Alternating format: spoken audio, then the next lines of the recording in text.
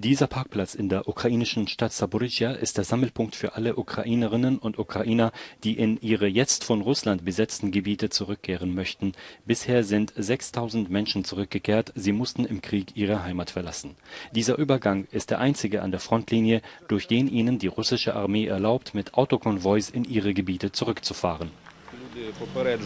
Natürlich informieren wir die Menschen über das Sicherheitsrisiko. Den Konvoi begleiten Sprengstoffexperten. Die Autoschlange ist lang, manche warten bis zu zehn Tage, bis sie einen Platz im Konvoi bekommen.